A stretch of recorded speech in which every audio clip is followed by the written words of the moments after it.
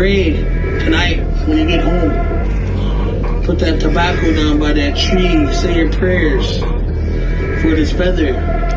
Hang this up by your, your front door for four days and four nights. You're gonna come outside that, that fourth night. This feather is not gonna be there no more.